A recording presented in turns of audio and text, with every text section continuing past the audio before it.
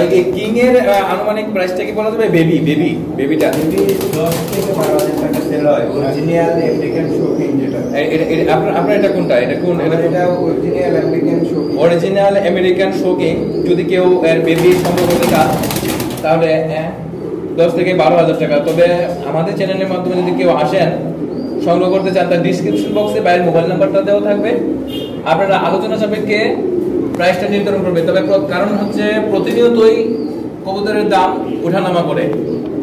সেক্ষেত্রে আলোচনা সাপেক্ষে প্রাইসটা নির্ধারণ করলে এই সবচেয়ে ভালো হয়। আর আমি মনে করি যে মার্কেটে যে চাইতে কবুতর সংগ্রহ না করে যে কোনো একটা ভালো ব্রিডার যারা বিশেষ করে ইনপুট করে, তাদের কাছ থেকে যদি কবুতরটা নেওয়া হয়, তাহলে ফুল ফ্রেশ এবং নিজের চয়েস মোতাবেক কালার গ্রোথ এবং সিউরিটি গ্যারান্টি যাই বলে না কেন, তার অনুযায়ী আমরা কবুতরটা বা যে চাই সে তার চয়েস মোতাবেক চাহিদা মোতাবেক ফ্রেশ কবুতরগুলো সংগ্রহ করতে পারে।